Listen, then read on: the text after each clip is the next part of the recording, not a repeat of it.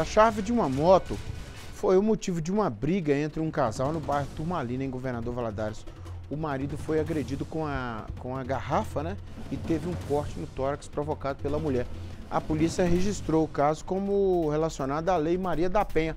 É o Miguel Braz que tem informações dessa ocorrência pra gente. É o que, que se passou, hein, Miguel? Boa tarde para você.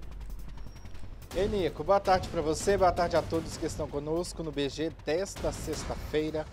Este caso vem do bairro Turmalina, aqui em Governador Valadares. Pois bem, de acordo com a Polícia Militar, esta não, este não é o primeiro registro de desentendimento entre os dois.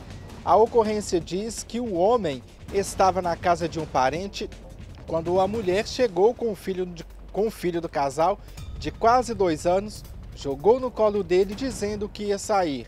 Só que alguns momentos depois, como consta no registro policial, o homem teria ido à casa da mulher e pegado a bicicleta. Então a mulher voltou à casa do homem e pediu para que entregasse o veículo, só que teria negado. Aí que começou um desentendimento, o desentendimento avançou para as agressões, a mulher teria pegado uma garrafa, quebrado o objeto pegado um caco e ferido o homem. E com isso também ela teria pegado a chave da moto do companheiro e guardado consigo. Pois bem, a gente tem a participação do cabo da Polícia Militar, o Danilo Santos, que vai dar outros detalhes desta ocorrência. Vamos acompanhar. Dinâmica se deu por motivos fúteis lá por causa de uma chave de uma motocicleta, um desentendimento lá, e aí o casal começou a discutir. Nesse momento, a, a mulher ali, com muita raiva no caso, quebrou uma garrafa, enfiou ali, lesionando o seu Amásio. Nesse momento, o Amásio empurrou e torceu o braço dela, e aí os, os parentes próximos acionaram o 190. A gente chegou de maneira rápida, evitando o mal maior. O, o, homem tomou quatro pontos ali na altura da costela, ela teve algumas escoriações, mas passa bem. Na verdade, ele, o rapaz já tem outras passagens pela Lei Maria da Penha.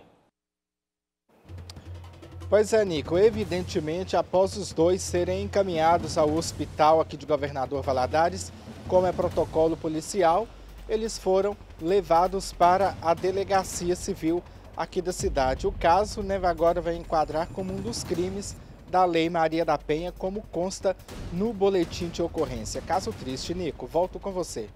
Triste, né? Confusão, né, Miguel? Envolvendo famílias, casais, filho no meio, joga o filho ali como se fosse um objeto, é garrafada para lá, é corte para lá, é xingamento para cá.